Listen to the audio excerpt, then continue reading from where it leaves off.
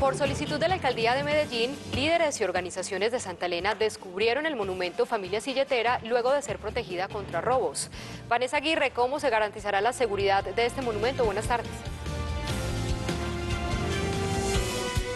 Una y 15 de la tarde, Mónica Televidentes, buenas tardes. Y no cesan los hurtos aquí en esta escultura en Santa Elena. Precisamente me acompaña una de las líderes, Diana Incapié. Usted es una de las promotoras, la veo con las tijeras en mano. Cuéntenos entonces en este momento qué están haciendo. ¿Están destapando en este momento las esculturas? Eh, sí, mira, en este momento estamos descubriendo la escultura porque afortunadamente llegamos a un consenso con la administración municipal eh, para la protección de ella. Entonces queremos es invitar a la comunidad para que también se apropie, no nos la raye, que la cuidemos y que estemos vigilantes las 24 horas del día porque no podemos tener la policía todo el tiempo. Entonces apropiémonos porque mira que esto siempre es un desgaste, es un trabajo que hay que hacer, es una manifestación pacífica y simbólica, pero que hemos logrado el objetivo. Entonces queremos que todos nos apoyen para mantenerla bien como debe estar siempre.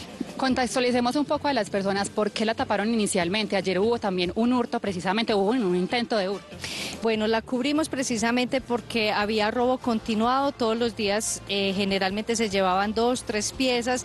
Ya la silleta está totalmente descubierta, ya no tiene flores, su reconstrucción es bastante costosa. Entonces decidimos cubrirla como protección y sin embargo anoche eh, intentaron hacer unos hurtos también, cogieron la persona que lo estaba haciendo con las manos en la masa, con algunas piezas, porque sin, estando envuelta no se salva entonces imagínese sin cubrirla cómo estaría.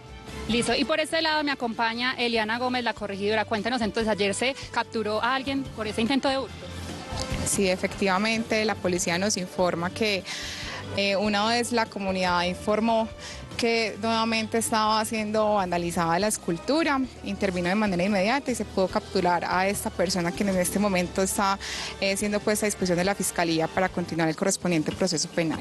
Bueno, próximamente entonces se restaura se restaurará esa escultura. Quizás de frente no se ve despoblada esa escultura, pero sí vemos en la parte de atrás la silleta que le faltan algunas flores. También se ha hurtado, por ejemplo, el sombrero del silletero en el 2019, pero ya fue recuperado. Esa escultura fue instalada en 1997 y creada por Luz Piedradita, una artista antioqueña. Esa es entonces un patrimonio cultural de todos los antioqueños y la principal actividad del corregimiento. Cuéntenos entonces en qué momento va a ser restaurada. Una vez se cumpla el proceso de ley de garantías, eh, ya la Secretaría de Cultura está avanzando en todo lo que es el proceso de contratación por medio de la Dirección de Patrimonio para que la Fundación del Ferrocarril de Antioquia, quien es quien tiene a cargo todo el tema del mantenimiento y conservación de, los más de 200 eh, monumentos al aire libre que tiene la ciudad, proceder entonces con el proceso de contratación y la restauración.